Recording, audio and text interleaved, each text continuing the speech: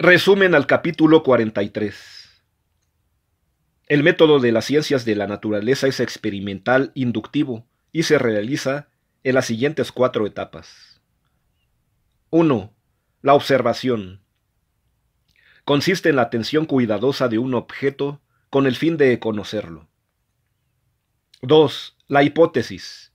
Es la explicación provisional de los hechos observados. Debe ser a posteriori 3. La experimentación. Es la repetición voluntaria de los fenómenos para verificar la hipótesis. 4. La inducción.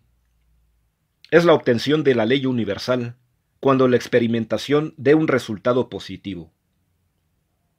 El fruto de la inducción es la ley, expresión de una relación constante de finalidad o de causalidad. La teoría es la explicación armoniosa de un conjunto de leyes. 5. La analogía es un método utilizado en la investigación. Si se observa una serie de cualidades en el objeto B y las mismas en el objeto A, entonces tendemos a decir que una nueva cualidad X en el objeto B también debe estar en el objeto A. Este razonamiento no es riguroso, pero es útil como pista para nuevas hipótesis e investigaciones.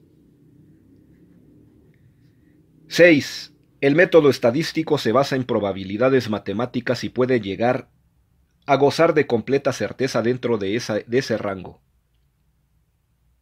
A partir de la frecuencia de un hecho, en un número pequeño de casos, es posible concluir una tendencia en la totalidad de esos casos.